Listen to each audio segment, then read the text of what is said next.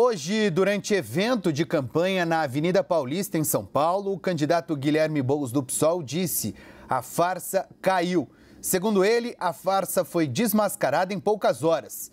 Boulos disse ainda que já entrou na Justiça Eleitoral e Criminal e que espera que a verdade circule mais do que a mentira circulou nesta reta final.